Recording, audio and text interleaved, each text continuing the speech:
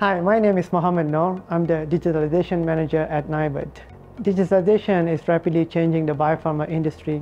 COVID-19 has shown that we actually need to move much faster in bringing new drugs to the patients. So why do we want to have digitalization?